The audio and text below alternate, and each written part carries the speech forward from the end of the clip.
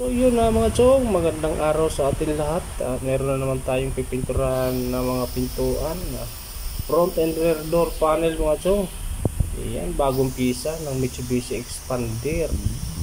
Yan siya mga chong, bali yan, binubugahan na ng ating kasama. Mas ating magaling na pintura. Na pintor. Ayan.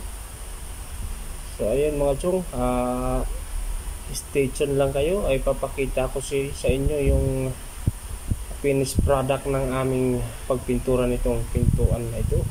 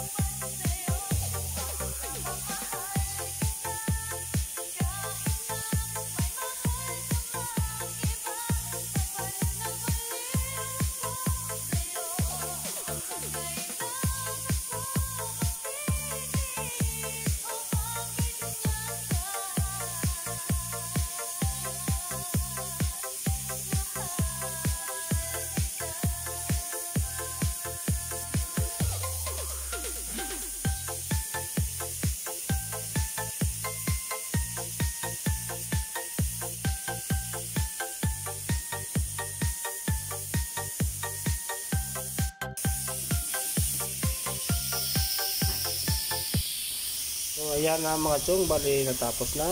Ayan. Tapos ang pinturahan natin. Subo. Bali susunod na mga araw mga chong, ikakabit na natin yan sa kanyang katawan. So iyo, ito na nga mga chong, bali kinabit na natin sa kanyang katawan. Ayan, yung dalawang pintuan na yan. So bali ang ginagawa ng latero is ikinakabit nila yung ano ba side skirt. Ayan mga chong. Hindi ko na videohan yan kasali yung side skirt na yan. Ayan, hindi ko lang siya na video ng pininturahan. Yung kinakabit natin ng ating magagaling na mga latero. So yan mga chong, tingnan nyo naman yung ating finished product yan. Yan, oh. yun ang ating pininturahan yung front door panel tsaka yung rear door panel yan mga chong. Yan. Yan po ang ating finished product. Maraming maraming salamat mga chong sa walang sawang pagsubaybay sa aking channel. And uh, God bless everyone. Thank you for watching.